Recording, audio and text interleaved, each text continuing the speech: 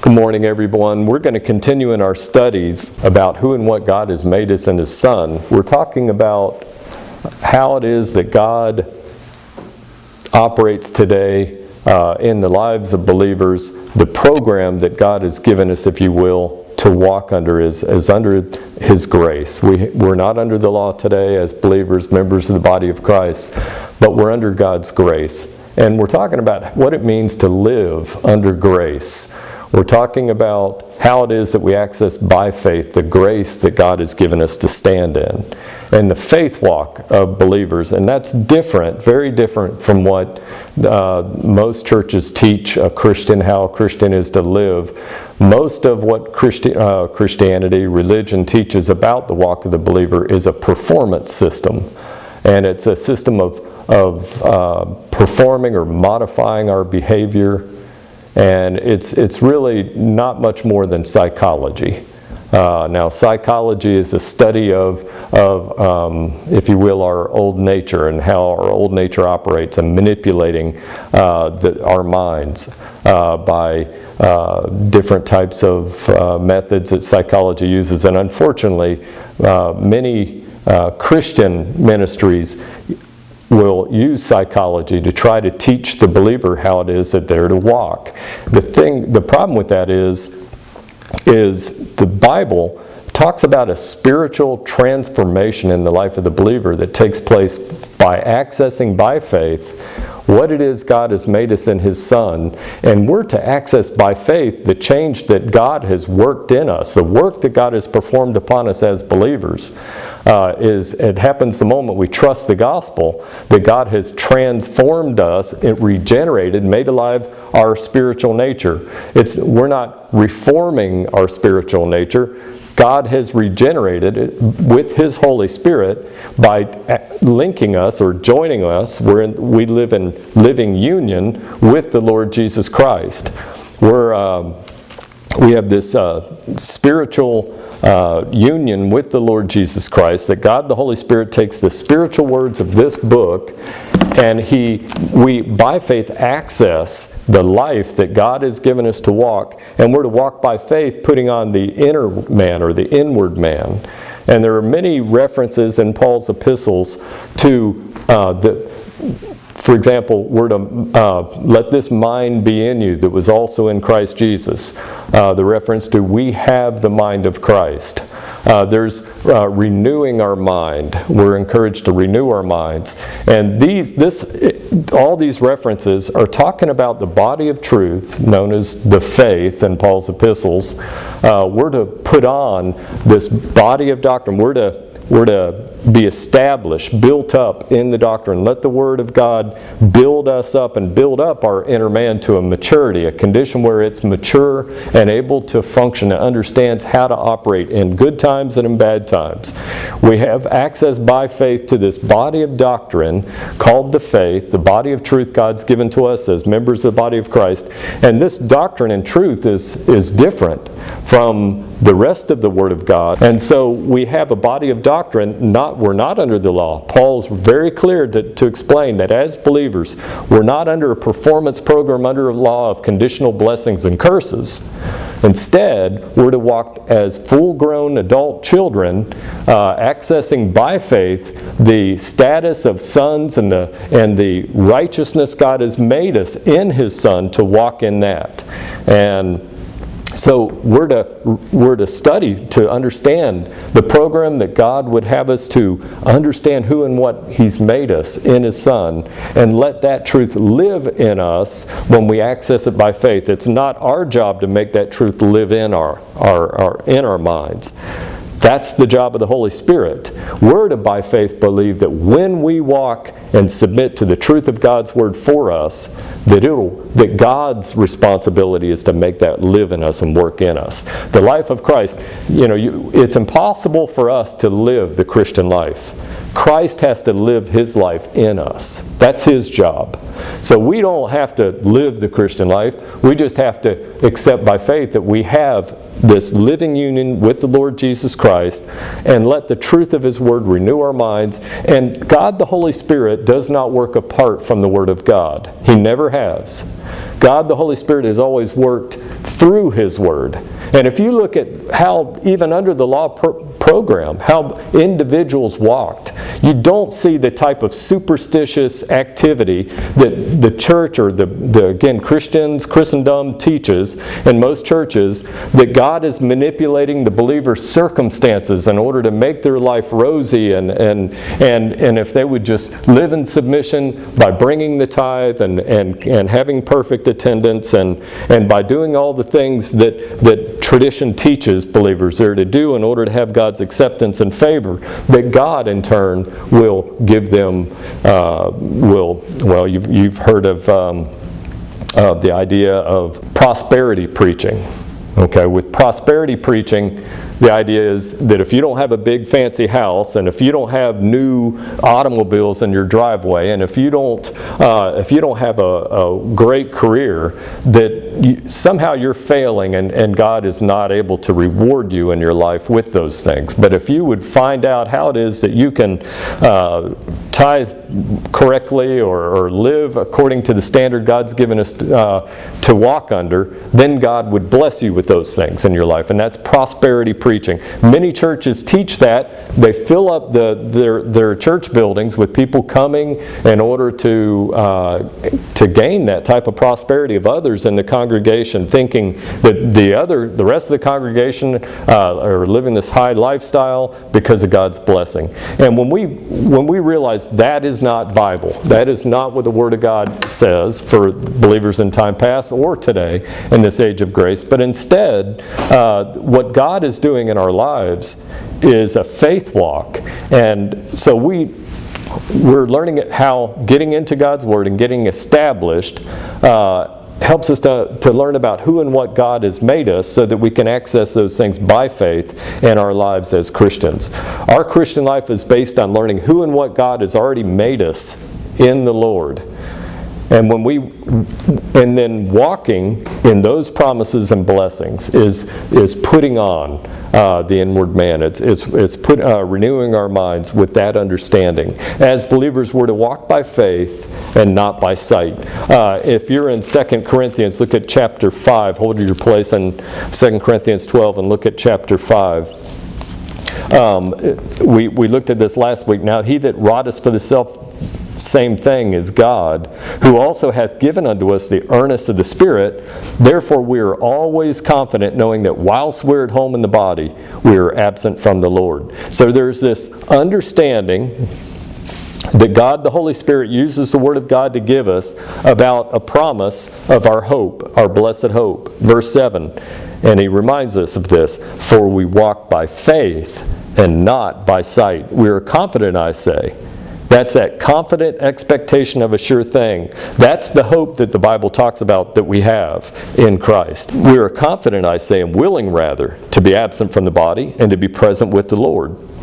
Wherefore we labor that we, whether present or absent, we may be accepted of Him. So we have some understanding, and it changes our minds in our circumstances.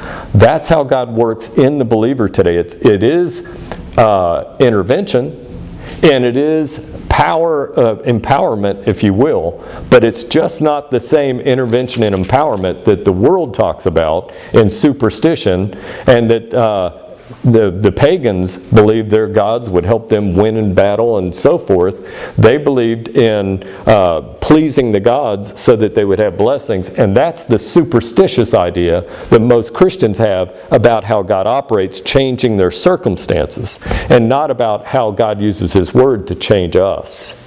And when we are changed in any circumstances, we should be able to have joy, rejoicing in victory, realizing, setting our affections on things above. we talked uh, a little bit about this last week in 2 Corinthians chapter 12. The Apostle Paul uh, had this thorn in the flesh, and he prayed that the Lord remove it from him. And God's answer to him in verse 9, and he said unto me, My grace is sufficient for thee, for my strength is made perfect in weakness. Most gladly, therefore, as a result, Paul Paul appreciates what God's telling him here that the blessings that he has in Christ, the grace that God, that God showed the Apostle Paul on the road to Damascus, and the salvation that he gave him, the hope that he has in Christ, the life that he has in Christ, that is the grace of God that was shown to the Apostle Paul, the measure of grace that the Apostle Paul received, the revelation that, that, that God revealed to Paul about his grace and about this dispensation of grace that we live in and God's purpose for the church, the body of Christ, for the, uh, for the hope that we have, for the, uh, the idea that we have purpose. God has a purpose for our lives for eternity. We're a part of a big plan that God has to accomplish in eternity that will be a, a plan that God will receive eternal glory, but we'll be a part of that eternal glory that God has living and, and reigning with Christ in the heavenly places. So there's this, there's this grace that God had given, revealed to Paul, and Paul says, uh, he told Paul his grace was sufficient for him in that thorn in the flesh that he that was uh, that Paul suffered from. Instead of telling him, "I'll remove the thorn as you prayed in faith," we know the apostle Paul prayed in faith, believing God could deliver him. We know it wasn't a, a situation where Paul didn't have enough faith, and that's why God didn't remove the thorn in the flesh. And the answer, Paul says, as a result, most gladly, therefore, will I rather glory in my infirmities, not for my infirmities, but I will rather glory in my infirmities, that the power of Christ may rest upon me. That's what we want as believers. We want the power of Christ to rest upon us. We want that power. That's the result of accessing by faith the grace that God's given to us. That he told Paul that, that it's sufficient. It's all he needs. And so uh, you read down, look at the list uh, that Paul's talking about. He's going to glory in his infirmities, that the power of Christ may rest upon him. Therefore, I take pleasure in infirmities, in reproaches, in necessities, in persecutions in distresses for Christ's sake. For when I'm weak, then I am strong. So the Apostle Paul is talking about a, a walk of strength. That when the circumstances make him weak, his inner man is strong because he's standing on the solid foundation of the grace that God's given him to stand in. The foundation of knowing who and what God has made him in Christ gives him power and gives him strength. And that is what we need. The, the problem is, if in those weaknesses and in those infirmities, all the believer is praying for is, God, please remove this infirmity. Please heal me from this problem. They're not renewing their mind about who and what what God has already made them in Christ. They're not thinking about the perfect, complete salvation that they have in Christ. God has already provided all of our need in Christ. And so they're not going to be transformed by the renewing of their mind if the only thing they can pray and utter to God is, Heal me of this infirmity. They're not accessing by faith the grace God's given for them to stand in. And we're going to talk about how it is that we access God's grace and His strength in our walk in spite of our circumstances as we go on uh, in, the, in this series. So the Apostle Paul wasn't referring to God granting him some divine intervention or, or power, special power or grace. But there is intervention of God, and there is power that God gives us in the way God does operate today. A lot of people, they think, well, you know, there goes my prayer life. Everything that I ever prayed for was give me this, give me that, give me this, help them, help help, help this person, and help us all uh, from our problems and help us to, and, and that's, that's okay to pray for those things. Uh, in fact, go to, go to Philippians 4 with me now. Uh, Philippians 4 is the chapter that, or the passage, I should say, beginning in verse. I want you to look at verse 4. Rejoice in the Lord always. And again, I say rejoice. Now, verse 4, the apostle of the Gentiles isn't telling the church, the body of Christ, rejoice in the Lord when you can.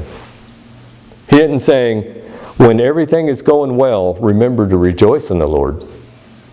He doesn't say that. But instead, he says, rejoice in the Lord always. Was the bed uh, or was the walk the, the, apostle paul walked as our apostle in this life in his earthly ministry you know in his lifetime uh, living out his apostleship and walking from city to city was it a was it a life of, of rejoicing because everything was rosy in his christian life we know the Apostle Paul probably lived one of the most difficult ministries of any prophet in the Scriptures, save the Lord Jesus Christ, of course. The Apostle Paul endured more hardship, stonings, and difficulty. Yet, remember when he was in jail in Philippi? Remember he was beaten, and they, he and Silas lay in stocks down in the prison. And you remember them? They were singing hymns those were not hymns of woe and, and hymns of sorrow. Those were hymns of rejoicing in what they had in Christ. And the result was it converted the, the jailer. After the earthquake, of course, Saul and Silas could have fled as prisoners, but they, they remained. And so that the jailer was so relieved because he would have been put to death, losing prisoners. And he realized there's something different about these guys. They're not running from the persecution and difficulty that they've endured. They're standing and rejoicing and singing hymns. You know, I want to find out what it is that they believe in. And he was converted uh, in his house. So the, the, the illustrations that we have are to mind the things, but in this passage, we're admonished, again, verse 4, to rejoice in the Lord always.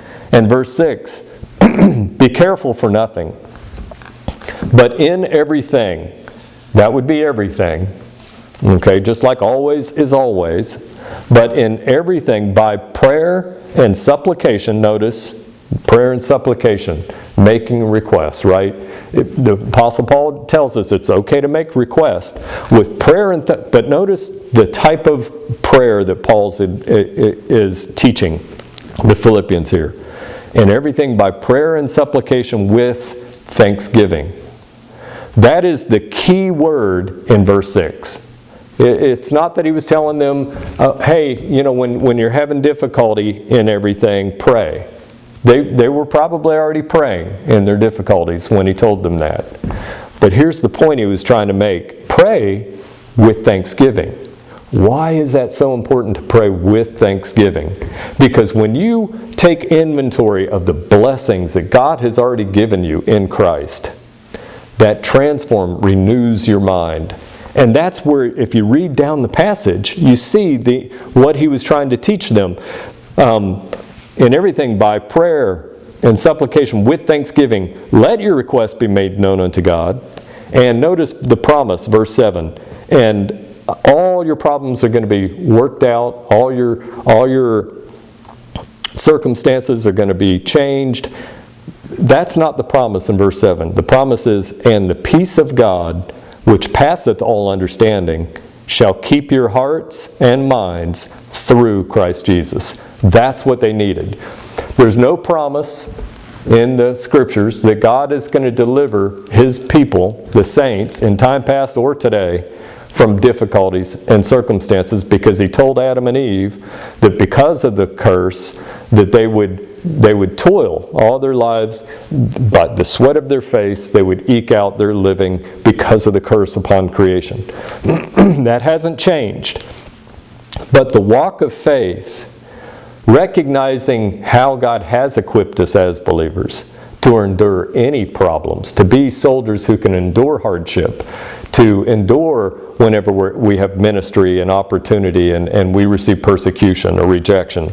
We're to be able to endure in all of our circumstances in our lives. When we're fulfilling our purpose in this life as the heads of families or maybe uh, as, as a um, as the, the, the uh, raising our, our children or in working our jobs and fulfilling our roles in our life uh, to serve the Lord in whatever station of life we've been given to walk in. No matter what the vocation that we, to earn a living, to support our families, we're to serve the Lord in, in that capacity.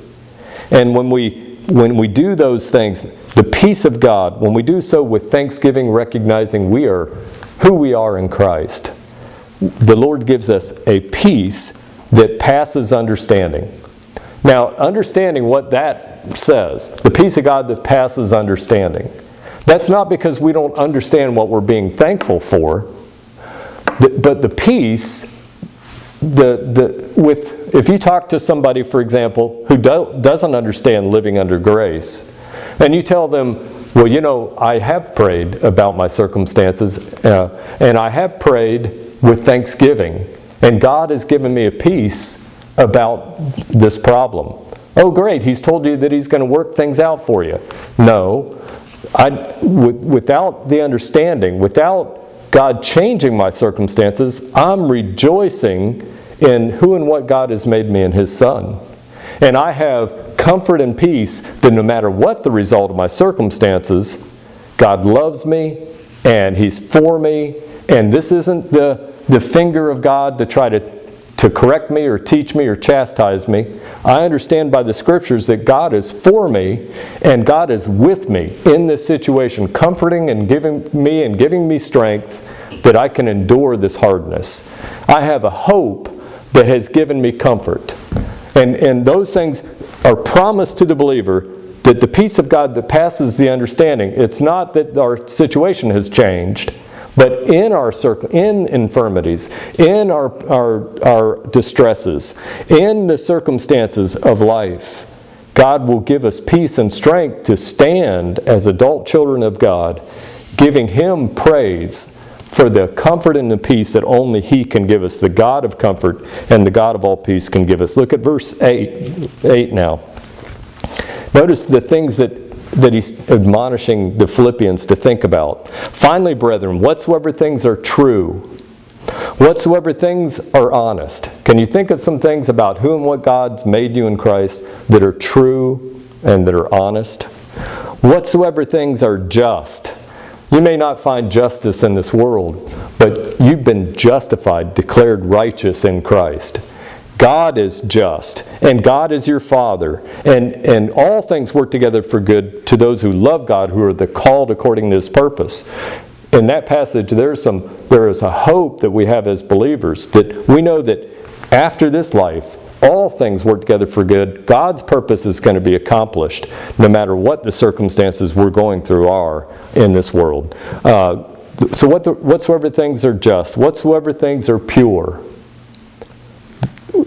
when, when you think about the Lord Jesus Christ, there is no purer uh, person that's ever lived. The, uh, we, we, purity, the things that God says are pure for us to think about in this life.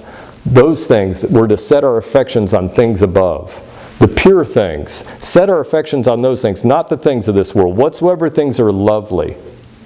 Now, you may have the pleasure uh, of having a perfect marriage, and you know that may be your wife, you know, the lovely thing there, right? But you can be thankful for the people in your life that God has sent to be a blessing and a comfort to you. And, no doubt we're to be thankful for, for those persons in our lives that make this life and, uh, manageable and help us to make this life better. But think about the lovely things in God's Word that He has for you that are God is faithful. He'll never leave nor forsake you. He's promised His love for you. His love is consistent, it's, it's, it's unconditional, and it'll, He'll never leave or forsake you. Whatsoever things are of good report, if there be any virtue, if there be any praise, think on these things. The things of virtue, the things that God has given you. Paul's talking about the things that you're to think on. If you set your affections on those things, I mean, Paul wasn't just trying to use a thesaurus to think of all the different ways of things, saying things that are good here. Each one of the, he had a purpose and a meaning for the, and he's referring to the doctrine, the body of faith, the body of truth, that tells us who and what God has made us. And he tells us that's what we're supposed to be thinking on and to be thankful for in whatever our infirmities are, in whatever our circumstances are. and the peace of God that passes all understanding shall keep our hearts and minds. Those things, verse 9, which ye have both learned and received and heard and seen in me, do. Do those things. I mean, if, if you're not sure what the list in verse 8 is about, verse 9 kind of seals it there. Those are the things that you've learned through your apostle. Romans through Philemon, the things that he's taught us, how God loves us, who he's made us, the, the, the way God looks upon us through his Son. He sees us as complete in, in his Son. Verse 8, he says, I'm sorry, verse 9, those things which you both learned and received and heard and seen in me, do, and the God of peace shall be with you. So the, the peace, that's what we all need. In a world that's wrought with, with uh, uh, there's, you watch the news and you see the condition our, our country is in, our people are in, uh, you see the turmoil that's going on around us, uh, political turmoil. Uh, you see all the, the different problems and crises in the world that the world is going through. Uh, you see all the, uh, the, the difficulty and hardship, but then at home, uh, you, you have anxiety, concerns about the future, uh, what, what's the world going to be like in the next five, ten years. Maybe you uh, anxious over things that are going on with loved ones and other difficulties in your life. We're to think on these things for peace. And that's what we're talking about doctrine, learning some things that, to establish us as believers. But it's not, it's not just stuffy doctrine that doesn't have any function in our in our real lives in our uh, you know you might think well what is how does that going to help me solve my problem over here to to study these things? But that's where we we we get so focused and Christianity is so focused on the things of this world that they're not realizing the importance of knowing that the things that God has made us in his son transcend this world we're established in those things. Those things are going to live in us not only here, but in the ages to come. And that there's a, we're, we're, eternal creatures. We have eternal life. We need to start thinking with the way God tells us that we should think about this world. It, it's not our home. We have the hope of better things that He's promised, promised us. And those things, we can access that life that God has given us in Christ right now. We're going to close here and pick up here again next time.